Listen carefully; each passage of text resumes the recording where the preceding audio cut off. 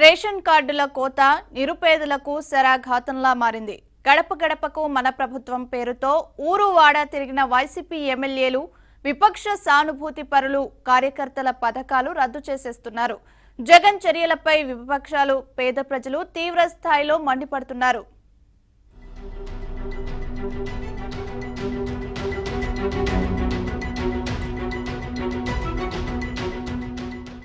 అన్నొస్తున్నాడు అండగా ఉంటాడు. మీ బిడ్డొస్తున్నాడు. పెన్షన్లు పెంచేస్తాడు. తెల్ల కార్డులు ఆరోగ్యశ్రీ కార్డులు ఇలా అన్నీ ఇచ్చేద్దాం అంటూ ఎన్నికల సమయంలో జగన్ ఓదరగొట్టారు. అధికారంలోకి వచ్చాక కానీ జనాలకు జగన్ అసలు రూపం అర్థం కాలేదు. నవరత్నాల పేరుతో ఆర్భాటం చేసిన జగన్ సర్కార్ నిబంధనల పేరుతో పథకాల్లో కోత పెడుతోంది. విడతల వారీగా ఆంక్షలు అమలు చేస్తూ ఎప్పటికప్పుడు కొత్త కొరీలు పెడుతూ లబ్ధిదారుల జాబితాను కుదించేస్తున్నారు.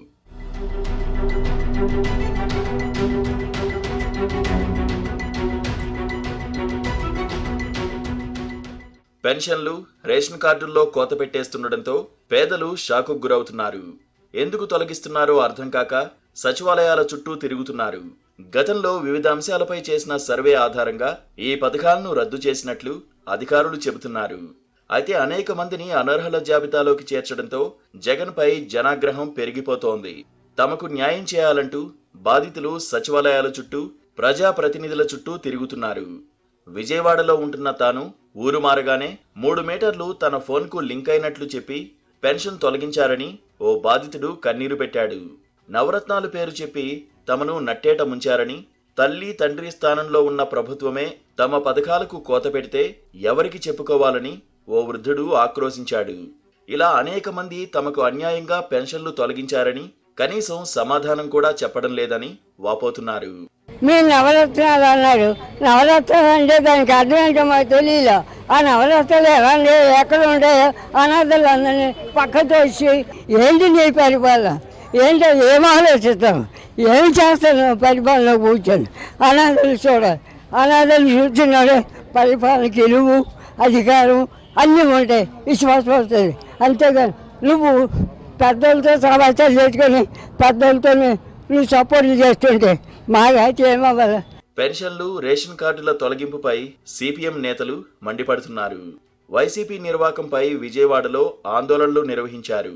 క్రిస్మస్ సంక్రాంతికి సరుకులు కానుకలుగా ఇవ్వాల్సిన జగన్ ప్రభుత్వం వారి పథకాలను రద్దు చేసి కన్నింటిని కానుకగా ఇచ్చిందని ఆగ్రహం వ్యక్తం చేశారు.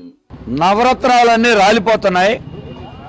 గడప గడపకి వైఎస్ఆర్ ప్రభుత్వం అంటే ఇంటింటికి తిరిగి పథకాలు ఇస్తారనుకున్నారు. ఇంటింటికి తిరిగి ఎమ్మెల్యేలు ఏం చేశారు? ఎవరు పింఛన్లు పీకేయాలి? ఎవరు కార్డులు పీకేయాలి? జాబితాలు తయారు చేసి సచివాలయాలకు ఇచ్చారు. ఇదేనా మీ గడప గడపకి?